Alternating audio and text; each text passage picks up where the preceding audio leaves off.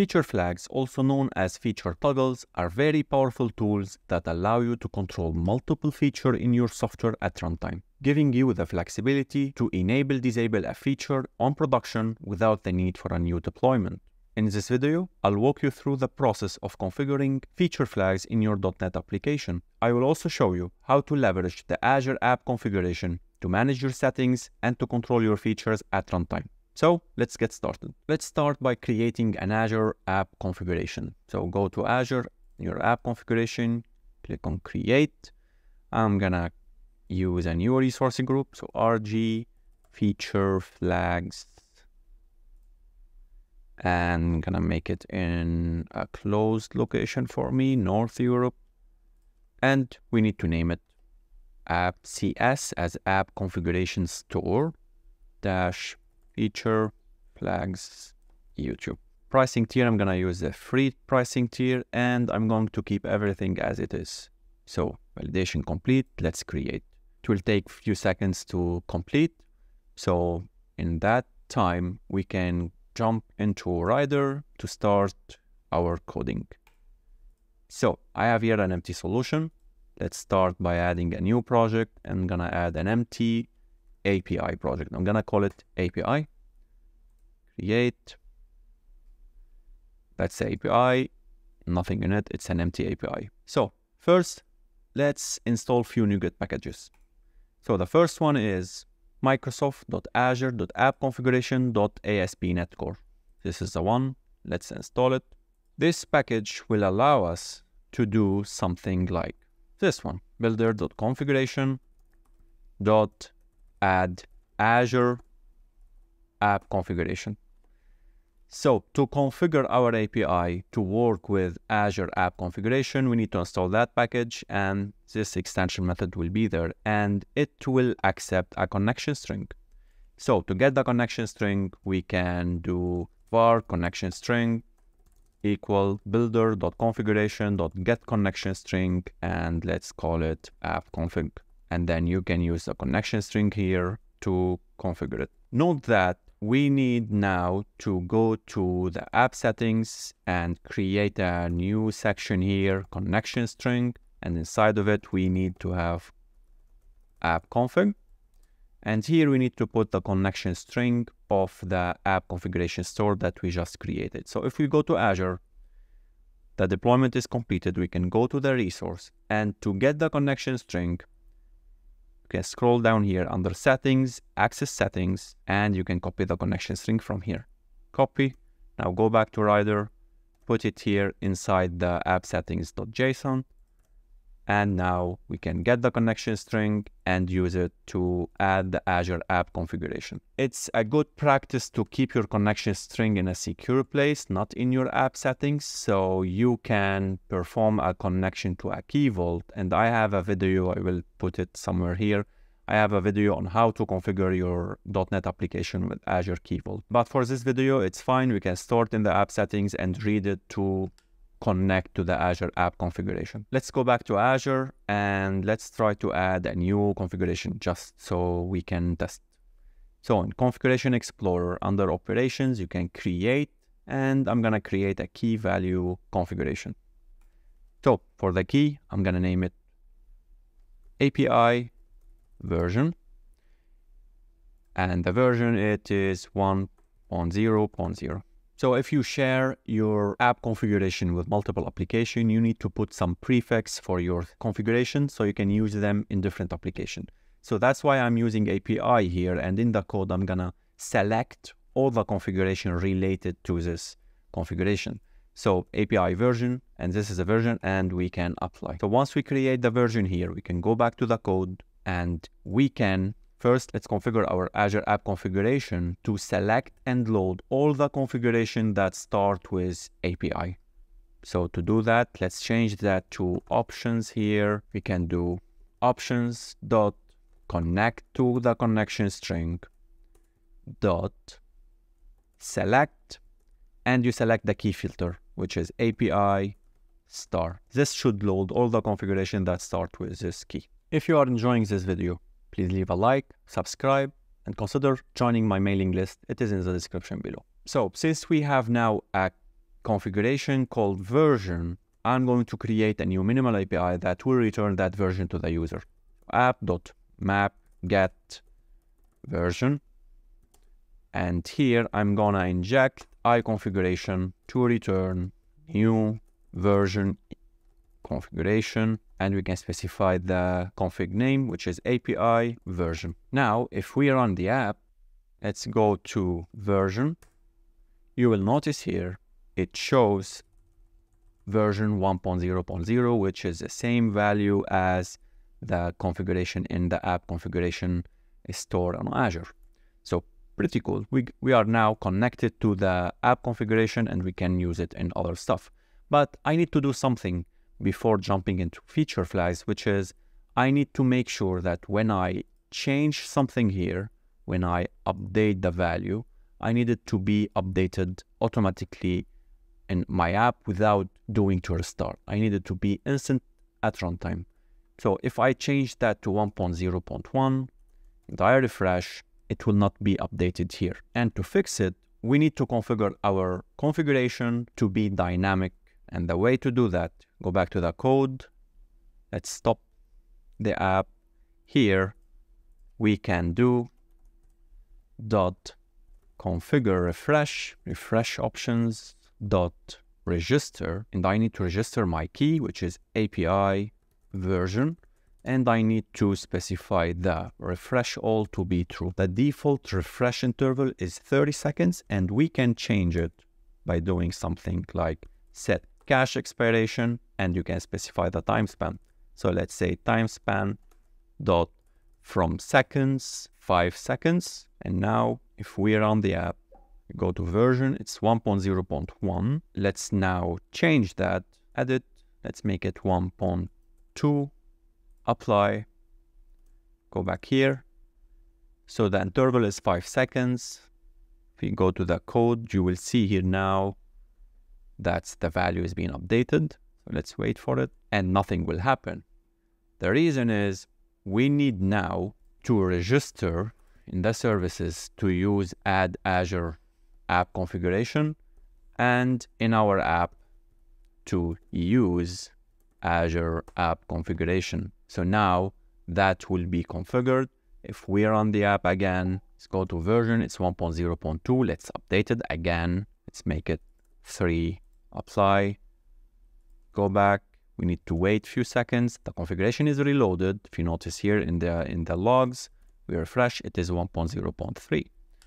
So that's basically it. That, this is how you can use the configuration at runtime to change your configuration and you can use that to perform multiple things in your configuration. Now for feature flags, you can say, yeah, I can add a configuration here called, let's say, use feature A, and you go here and you use the I configuration to configure that and you do some parsing, the value, it's Boolean or not, and then you can use it to run different set of codes. But that's not how you should use feature flags. To use feature flags, let's stop the code and first let's install a package called microsoft.featuremanagement.aspnetcore. This is the one. I'm gonna install it. Once installed, we can now go to our Azure app configuration here and we can say options.use feature flags. Now we are making sure that our feature flag manager is Azure App Configuration. So let's go to our services here and register the add feature flag feature management. And now we can use feature manager in our code. But before dealing with the features here, let's go to Azure and there is a section here called feature manager. Inside feature manager, you can create a feature. So Let's create a new feature flag. Feature flag is, is basically a variable. It's a binary flag, true, false, and you can use it to check if it is enabled or disabled. So enable feature flags, let's enable it by default and call it feature A. So notice here the key, the config here, feature flag.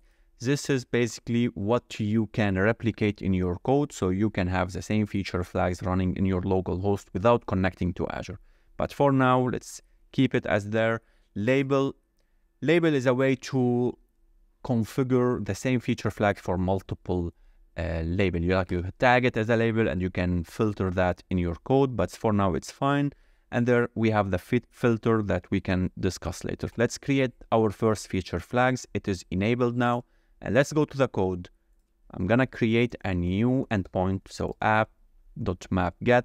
I'm gonna call it feature A. And here I'm gonna inject the I feature manager. And here I can do something like this var enabled equal await feature manager dot is enabled async and you need to specify the feature name. But before setting the feature name, I need to make sure that we have all the keys stored in a proper way. So create a new class, call it feature flags. And here we can make it a static class and we can have some constant. So public constant string feature A equal feature A. I don't like naming the feature flag here, the text, the string as name of the name of the uh, constant here, because if you change this one, like if you do a small refactor by mistake, or like you need to change something in it, it will mess up the, the actual key and you will lose that. So it's better to keep it as string and it is intended to be that string. So now we can go back here and say feature flags dot feature a. So we can get if it is enabled and then we can do something like if it's enabled, return results dot okay feature equal to a and if it is not, we can return not found, maybe something like that. And now, if we run the code and we query feature A, we will get the feature A, which is a response that is only when it is enabled. And now if we go and disable it on Azure, go back here, same thing at the configuration. The default settings, the default expiry for the cache, it's 30 seconds. And you can do the same thing like you did here in use feature flag to configure it if you want it to be more or less. But for now, it's fine. It's 30 seconds. We can, we're going to wait for it a few seconds more to see the actual value if it's been updated or not. Well, yeah, directly the feature flag is being updated, key feature A. If we go back here and we refresh, it will display undefined. So now we can use the iFeature Manager in our code, in our services, our repos, anything to actually check if the feature is enabled and do and perform some logic depending on that flag. But I would like to take it a step further and to actually configure a minimal API to only work if the feature flag is enabled. And to do that, I'm going to use the endpoint filter. So let's first go here and create a new class. I'm gonna call it feature flag endpoint. And for this class, let me stop the code. For this class, it will implement the I endpoint filter. And let's implement the missing member here, which is invoke async. In the end, I need to return await next context. So the idea here is filter the endpoint to check using the name of the endpoint if it is a feature flag enabled or not. var endpoint equal context.http context.get endpoint. So if endpoint is null, return await next context. Then we need to get the endpoint metadata name. So var endpoint name equal endpoint dot metadata dot get metadata the endpoint name metadata dot endpoint name. This is basically if you go to your, your endpoint and you specify dot with name test, this is the name that we are getting from here. Okay, so if it is not set, it is null. We need also to return.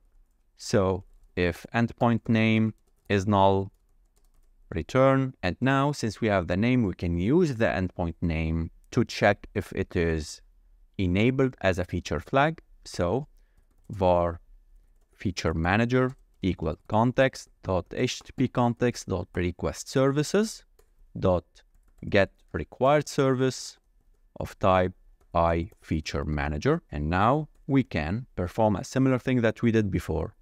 var enabled equal await feature manager dot is enabled async. And the feature name is, let's do endpoint underscore the actual endpoint name. And if it is not enabled, let's return results dot not found. Else return the actual next of the context. And now let's go to program.cs, create a new endpoint to app.map get. So feature B, and here it's only gonna return a JSON, which is text equal hello from B. But here we are gonna add add endpoint filter and specify the feature flag endpoint as a filter and add the name which is a metadata name. Let's call it feature B. And now go back to Azure. Let's create a new feature flag. Can call it endpoint underscore feature B. Let's enable it by default. Apply. Let's run the code. Now, if we go to feature B, we have hello from B. The response, the, the normal response, if we have the feature flag enabled. If we disable the feature flag, it's been updated. Let's go back here refresh it's still not yet configured let's wait it for the log to be shown here notice here the flag is being updated let's refresh it's now an empty page if you go to your network you will see it is 404 not found. Okay pretty cool. So the last thing that I want to show you is related to the feature flags which is basically you can have a feature filter. So yeah, you create a filter, you can enable, disable, but you can also have custom filtering for that uh, feature flag. So let's say you are targeting users that are part of a group and you can add the group here and you can specify the percentage for that feature to be enabled for that group. Or maybe you need to override it by selecting uh, multiple users. For you to work with that, you need to configure your app to use AAD or Entra-ID configuration authentication. And it will be very helpful to, let's say, enable a beta a page in your app only for some set of users inside your organization. Another type of filter is a time window filter where you can enable, disable that feature flag depending on a time. So you can enable in the morning, disable at the end of the day or something. And the last one, which is you can create your custom filter and inside the code, you can configure that to work with your uh, configuration depending on the parameter that you are adding here.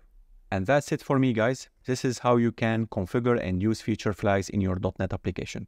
Let me know in the comment below, how are you going to use feature flags? And you can also check my other videos here and here. And that's it. Till the next time. Bye.